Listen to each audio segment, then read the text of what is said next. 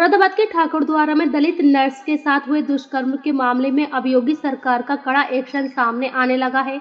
मुरादाबाद प्रशासन ने दुष्कर्म आरोपी डॉक्टर शहनवाज के परिवार द्वारा संचालित तीन मदरसों को सील कर दिया है। इस कार्यवाही से योगी सरकार द्वारा लिए जा रहे कड़े एक्शन से जोड़कर देखा जा रहा है। सील किए गए तीनों मदरसों के प्रबंधक मामले के दुष्कर्म के मुख्य आरोपी डॉक्टर शहनवाज के पिता शकील बताए जा रहे हैं। इन मदरसों में मदरसा अरबिया सकलेनिया जमे उलबनत, जटपुरा, मदरसा अरबिया सकलेनिया जमे उलबनत, राजपुर, केसरिया और मदरसा अरबिया सकलेनिया जमे उल उलूम राजपुर केसरिया शामिल हैं। इसमें से दो मदरसे सरकारी भूमि पर स्थित हैं, जबकि मदरसा अरबिया सकलेनिया जमे उल बनद जटपुरा प्राइवेट भूमि पर स्थापित था। जाँच के बाद हुई सीलिंग। सीलिंग की है कार्रवाई मुरादाबाद के अल्पसंख्यक अधिकारी एसडीएम ठाकुर द्वारा, मनी अरोड़ा और सीओ ठाकुर द्वारा की मौजूदगी में की गई कि मदरसों के दस्तावेजों की प्रारंभिक जाँच के बाद ही इन्हें सील किया गया है। अल्पसंख्यक विभाग और प्रशासनिक टीमों द्वारा मदरसों के पूरे दस्तावेजों की गहन जाँच जारी है ताकि मदरसों से संबंधित सभी पहलुओं की जानकारी प्राप्त की जा सके कि उन्हें कब से संचालित किया जा रहा था। राजपुर में दो मदरसा मदरसा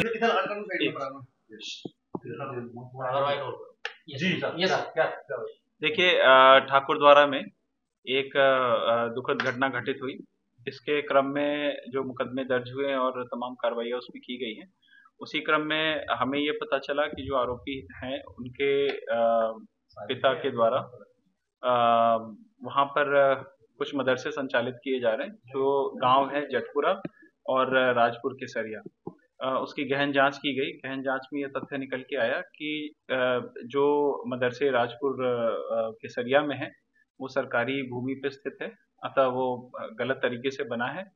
पहली बार में उसे फ़र्स्ट से लेकर पांचवी तक का उसके पास अप्रूवल आया था और बाद में उसके अप्रूवल को एक्सटेंड किया गया है।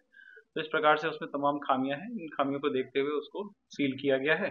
जल्द ही उसकी रिपोर्ट बना के उसके निरस्तीकरण के लिए शासन को प्रस्ताव प्रेषित किया जा रहा है। इसके साथ ही इसके साथ ही जो जटपुरा में जो मदरसा स्थित है उसके संबंध में भी किसी प्रकार की कोई कागज़ ऑफ़िस में अभी प्राप्त नहीं हुआ। आ, इससे यह प्रतीत हो रहा है कि वो भी इलीगल है गलत तरीके से बना हुआ है तो उसकी भी सील की कार्रवाई की गई है। सर मीडिया रिपोर्ट्स की माने तो उसके हाउस पे भी कोई इस तरीके का कोई इलीगल उस पर बना हुआ था उसके अगेंस्ट भी कोई एक्शन किया गया उनका अलग से कोई घर नहीं है वो जो मदरसा जो राजपुर के सरिया है उसी में उनका उनको मतलब ऐसा तथ्य निकला कि वो उसी में आवासित थे सर क्या पुलिस ने मांग करी आपसे कि उनके खिलाफ गैंगस्टर की कार्रवाई हो? आप अनुमोदन करें। क्या गैंगस्टर की कार्रवाई के साथ अनुमोदित करें?